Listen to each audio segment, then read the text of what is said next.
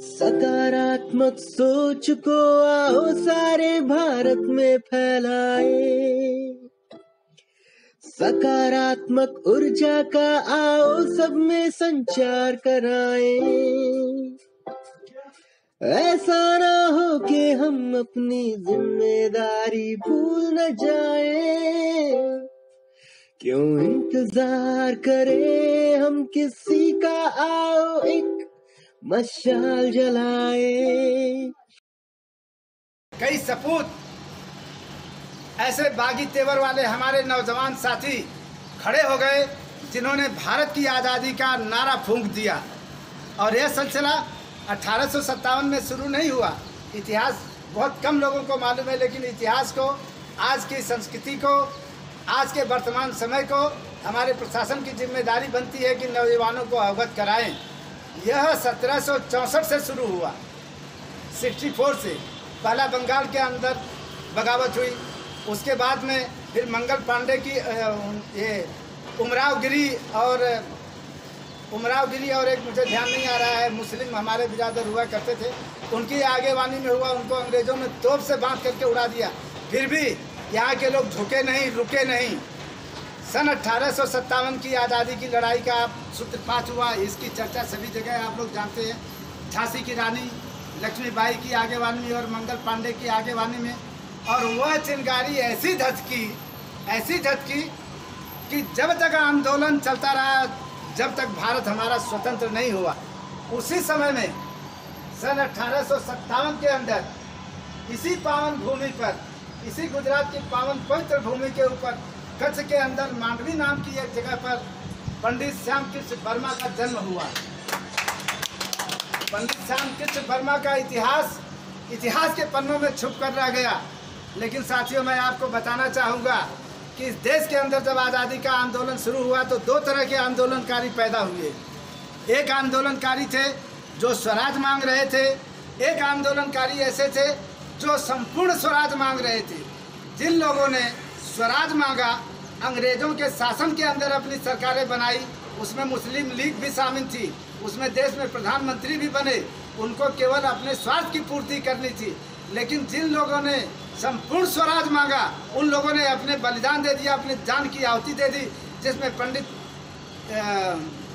श्याम कृष्ण वर्मा का नाम सबसे ऊपर आता है, सरदार भगत सिंह का आता है, सुभाष चंद्र बोस का आता है सुखदेव का आता है पंडित राम प्रसाद बिस्मिल अशफाकुल्ला खान का आता है ये लोग आज़ादी देखने के लिए नहीं रुके। इन लोगों ने ऐसी चिंगारी फूटी इन लोगों ने संपूर्ण स्वतंत्रता मांगा। लेकिन कुछ आंदोलन कर स्वतंत्रता मांगा। अब फिर से मैं आपको कहना चाहता हूँ कि अंग्रेज़ों के शासन में उन्होंने अपनी सरकार बनाई। वो कंगूरा बनना चाहते थे। लेकिन साथियों याद रखिएगा अपने ज़िंदगी में आपने देखा होगा आपने अपना मकान देखा होगा। जिन लोगों ने अपने मकान में देखा है कि उनके बाप दादा बनवा करके गए हैं पंद्रह बरस के बाद बीस बरस के बाद पच्चीस बरस के बाद में उसकी मरम्मत करानी पड़ती है उसके जाते। हैं पंडित श्याम कृष्ण वर्मा सरदार भगत सिंह चंद्रशेखर आज़ाद पंडित राम प्रसाद खान इन लोगों ने कभी कंकुरा बनने का ख्वाब नहीं देखा। इन लोगों ने नींव की ईट बनना चाहा और नींव नींव की ईट बन करके पूरे स्वतंत्र भारत की इमारत इन्होंने रखी। एक बात और याद रखेगा बिल्डिंग ढह जाती है लेकिन नींव कभी ढहती नहीं है। उसका अवशेष मिलता है उसकी सभ्यता मिलती है। और यही कारण है कि मोहन जोदड़ो की खुदाई में आज भी हमारी सभ्यता निकलती है। उस समय कैसे महल थे आपको नहीं दिखाई देगा। लंका सोने की थी कि नहीं थी, ये मुझे पता नहीं है। लेकिन राम के आक्रमण के अवशेष आज भी मौजूद हैं। इतिहास इस बात का साक्षी है। कहने का तात्पर्य यह है, साथियों, कि आप लोगों ने जो बलिदान दिया, जिसने यह सोचा कि मुझे देश के लिए कुछ करना है, वो इस दुनिया में अमर हो गए। उनका इतिहास बना ना बना, ये एक अलग बात है। लेकिन उनको कभी भूला नहीं जा सकता। हम अपने पिताजी का या हमारे अपने वंश, अपने जो हमारे पूर्वज हैं, उनको कभी हम भूल नहीं सकते। वो नहीं होते तो मैं इस दुनिया में नहीं होता। होता क्या? आप यहाँ बैठे होते, आपके माँ बाप नहीं होते तो आप यहाँ होते। तो आज जिस स्वतंत्र भारत में आप लोग बैठे हुए हैं, देश के प्रधानमंत्री बनने वाले, देश के गृह मंत्री बनने वाले, देश के अंदर मंत्री बनने वाले, उनकी देन नहीं है। उनकी देन है जिन्होंने जो लोग खपा हो गए, जिन्होंने अपना जीवन बलिदान कर दिया और नींव की ईट बन गए उसमें पंडित श्याम कृष्ण वर्मा का नाम है।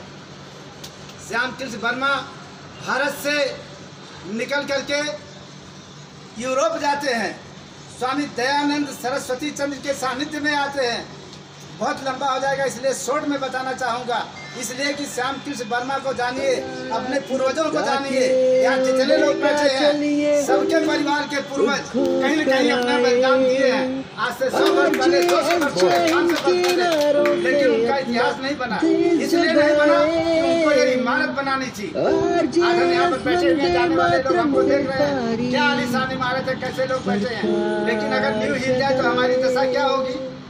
क्या होगी? कहाँ जाएँगे हम? अगर इसकी नींव हिलने लगे तो हमारी दशा क्या होगी? यहाँ से भागने लगेंगे। वो लोग भागने वाले नहीं थे। कील के पत्थर बन गए साथियों। ऐसे महान पुरुषों को आज भी मैं अपना श्रद्धा समन अर्पित करता हूँ। और उसमें से पंडित श्याम कृष्ण वर्मा एक थे। स्वामी दयानंद सरस्वती चंद्र ने उनको यूरोप भेजा। पहला आदमी, आप सोचिएगा। अब आपके दरवाजे पर मैं आऊँगा तो आप मुझसे झगड़ा कर सकते हैं, मुझसे डांट सकते हैं। लेकिन मेरे गली में आकर के अगर आप सीना खोल करके मेरे साथ लड़े तो मैं आपको मर्द मानूं। यह इस भारत माता का सपूत। ब्रिटेन में जा करके ब्रिटेन की छाती पर ब्रिटिशरों के छाती पर अपना पाँव रख करके वहाँ इंडिया होम रूल्स की स्थापना किया और एक नए हिंदुस्तान का निर्माण किया। वह नाम है पंडित श्याम कृष्ण वर्मा। श्याम कृष्ण वर्मा कोई मामूली आदमी नहीं थे। उन्होंने आंदोलन नहीं किया लंगोटी झोली पहन करके नहीं किया उन्होंने अपने खून का एक एक कतरा बहा दिया, भारत की आज़ादी के लिए। ऐसे सपूत राम कृष्ण श्याम कृष्ण वर्मा जी थे। उनको न्याय नहीं मिला। उनको न्याय नहीं मिला इसलिए न्याय नहीं मिला कि इतिहास को दबा दिया गया। इतिहास में आगे कौन आए? जो स्वार्थी लोग थे जो लालची लोग थे जिनको देश के अंदर प्रधानमंत्री बनना था गृह मंत्री बनना था, मंत्री संतरी बनना था। ऐसे लोग आकर के चढ़ बैठे। लाला लाजपत राय को कितने लोग जानते हैं? गोपाल कृष्ण गोखले को कितने लोग जानते हैं? इस चर्चा में नहीं पढ़ूँगा। लेकिन पंडित श्याम कृष्ण वर्मा जी की देन है मदन लाल ढींगरा। आपने जाना होगा। अंग्रेज़ में जाके, इंग्लैंड में जा करके अंग्रेज़ की छाती में गोली ठोक दिया। वह भारत का समूह मदन लाल था। और वह देन थी, उसका निर्माण करने वाला, उसका चरित्र बनाने वाला, निर्माण करने वाला पंडित श्याम कृष्ण वर्मा जी थे।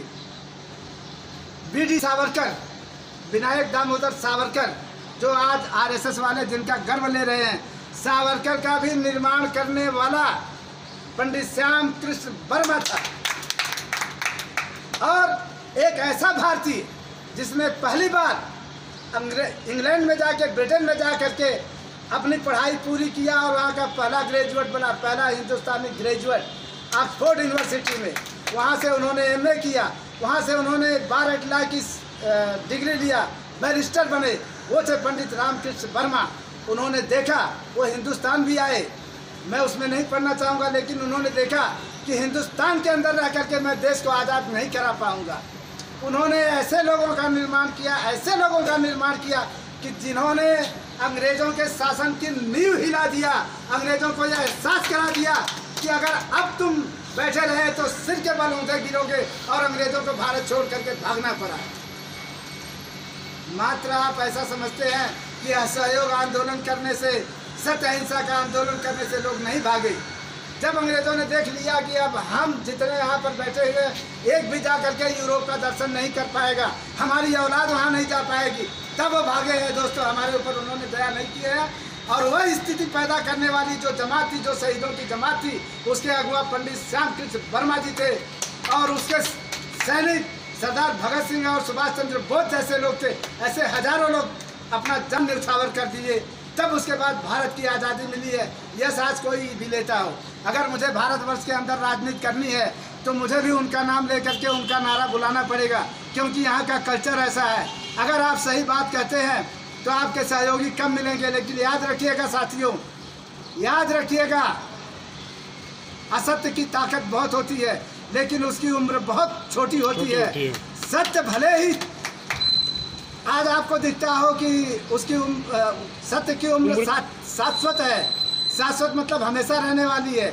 और उसकी ताकत इतनी विशाल है कि उसके सामने असत्य रुक नहीं सकता। मात्र आपको समय का इंतज़ार करना है। आपका समय कमज़ोर हो सकता है। याद रखिएगा मेरे सामने बैठे हुए मेरे वीर जवानों मेरे साथियों आप कमज़ोर नहीं हैं। अगर किसी के मन में लगता है परिस्थिति की वजह से आप कमज़ोर हैं नहीं। आज मेरी बात याद रखिएगा, डॉक्टर सुरेंद्र सिंह की बात को याद रखिएगा। आप कमज़ोर नहीं हैं, आपका वक्त कमज़ोर हो सकता है, लेकिन आपके अंदर वो क्षमता भरी हुई है कि आप कुछ भी कर सकते हैं। आवश्यकता है अपने आप को पहचानने की, अपने अंदर राम श्याम कृष्ण वर्मा को ढूँढने की, अपने अंदर सुभाष चंद्र बोस, शहीद भगत सिंह और चंद्रशेखर आज़ाद को ढूँढने की आवश्यकता है। साथियों, मैं आपको इसलिए अवगत कराना चाहता हूँ कि आने वाले भारत का भविष्य क्या होगा? आप देख सकें अपनी खुली आँखों से। जब आप सड़क पर चलते हैं तो आपको पता लगता है आगे से कौन सी ट्रक आ रही है, कौन सा वाहन आ रहा है। मुझे नुकसान कर सकता है कि नहीं कर सकता है? आप देखते हैं कि नुकसान नहीं कर सकता है तो आप निश्चिंत होकर के जाते हैं। लेकिन जब आप देख लेते हैं कि नुकसान करने वाला है या मुझे टक्कर मारने वाला है तो आप अपना बचाव करते हैं कि नहीं करते हैं? रास्ते से हटते हैं कि नहीं हटते हैं? उसको हटाने की क्षमता में आप अपने आपके अंदर अगर होगी तो सामने से उसको टक्कर मार के हटा भी सकते हैं। तो आने वाले भारत के भविष्य के मेरे निर्माताओं, मेरे साथियों, आने वाले भारत का भविष्य आपके हाथों में निहित है। आपको अपनी ताकत को पहचानना होगा। आपको अपने आप को पहचानना होगा। और नए भारत के निर्माण में ऐसे वीर शहीदों का, ऐसे वीर सपूतों का हमारे आज के बागी तेवर वाले नौजवानों को अवगत कराना होगा, नौजवानों को उनका इतिहास बताना होगा, उनको जगाना होगा। उनको चिर निद्रा से जगाना होगा, उनकी ताकत का उनको एहसास कराना होगा।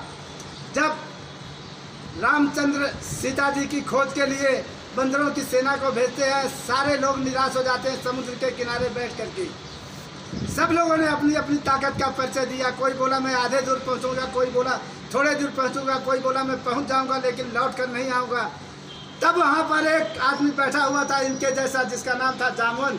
उन्होंने कहा कि अरे हनुमान क्यों चुप बैठा हुआ है? तू तो कितना समर्थ है और बात सुनते ही हनुमान जी अपनी ताकत को पहचान गए। लंका में गए सीता की खोज तो लगाए ही लगाए लेकिन राम लंका को इतना कमज़ोर बना दिए कि दस दिन के अंदर पूरी लड़ाई पूरी हो गई रावण का पूरा। बहुत अच्छे तो मेरे हनुमानों इस भारत का भविष्य आप लोग हैं। इस भारत के भविष्य के निर्माण के लिए आज से आप उसकर खड़े हो जाइए। अकेले सुरेंद्र सिंह चाहेंगे तो कुछ नहीं हो सकता। मुस्तकबिल की चादर को मैं अकेला बुन नहीं सकता। तेरा ताना ज़रूरी है तो मेरा बाना ज़रूरी है। ज़रूरी है। साथियों बहुत ज़्यादा कुछ न कहते हुए ऐसे वीर सपूतों के चरणों में मैं सादर नमन करते हुए आप लोगों से अनुरोध करता करता हूँ कि आने वाली पीढ़ी का पीढ़ी को लक्ष्य में रख करके अपनी ताकत को पहचानिए अपने कर्तव्य को पहचानिए और अपने हौसले बुलंद करके इस नए भारत के निर्माण में कूद पड़िए। जूझ पड़िए। परिणाम क्या होगा इसकी चिंता मत करिए। सत्य का परिणाम हमेशा सुखदायी होता है। सत्य का परिणाम हमेशा सुखदायी होता है। जय हिंद, जय भारत।